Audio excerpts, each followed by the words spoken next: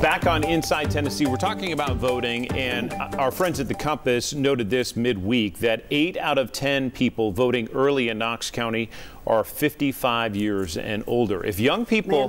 We're, we're in the group. I just joined recently. If young people care about the community, this is the opportunity. You got to say, if you want to say, you got to have a say. And they, this is the opportunity. Uh, absolutely, please go. Uh, and, and, this is the one thing that Susan and I have always worked, you know, walked lock, lockstep in. Go vote. I don't care who you vote for. I don't care what party you vote for. It is incredibly important, particularly the local elections. Those are the things that affect your daily life. It's a presidential year, so it's exciting. Go go vote in the party you wish to go vote in. But I'm not too worried about that 55 figure right now. Mm-hmm. You know, frankly, older demographic. They you know they're the ones showing up at the grocery store when the door opens at six. You know, younger demographics going at 10 o'clock. Mm-hmm. Well, the, what's really important, you mentioned the local races. We have school board, we have county commission, we have a law director, we have a property assessor race. One judge. One judge, unopposed. unopposed.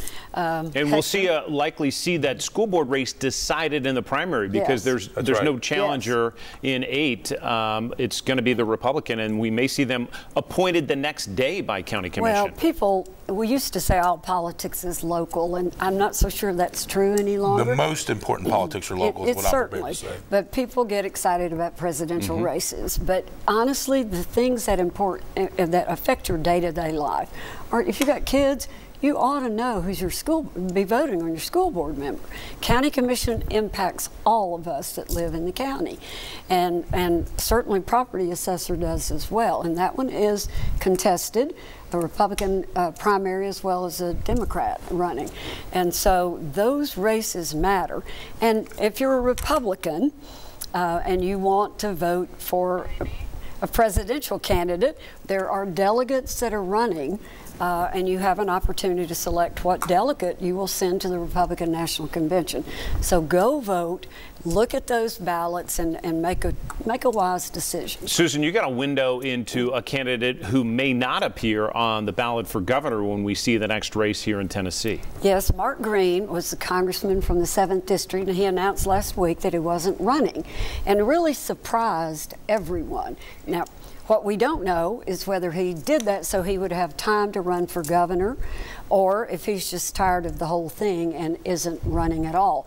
But it has certainly shaken things up in the 7th District, and Davidson County's a big part of that. So now everybody's trying to decide who's going to run for that seat. Any closing thoughts? Absolutely. The, without Mark Green in this race, and you know if the presumptive favorite may be Glenn Jacobs or somebody else, this is a perfect opportunity for Democrats to recruit a meaningful candidate. When frankly most of us thought that it would be difficult to win the governor's seat back this early within sort of the trend and cycle, this is an opportunity. So, Taylor Swift, we're asking about you. not gonna, not gonna happen. Not gonna happen. Don, Susan, we appreciate the perspective. And before we leave tonight and this morning, I want to leave you with this. We lost a great friend this week, a civil rights icon. Bob Booker died this week at the age of 88. He was a friend to this show. He was a friend to oh, Don and Susan and a regular viewer and also appeared one year ago uh, in 2023 on this broadcast. Here's a little bit and our deepest condolences to his family. Serving in the military for three years, I was free for the first time in my life. I could go to any movie theater, any night spot, eat in any restaurant, stay in any hotel. And when I came back to Knoxville in the spring of 1957, I was back to square one. And then the students at A&T College in Greensboro, North Carolina started the sit-ins in 1960. And I was president of student government at Knoxville College. I said, I think we need to do that too. We need to open up downtown Knoxville. So we began demonstrating at lunch counters and movie theaters.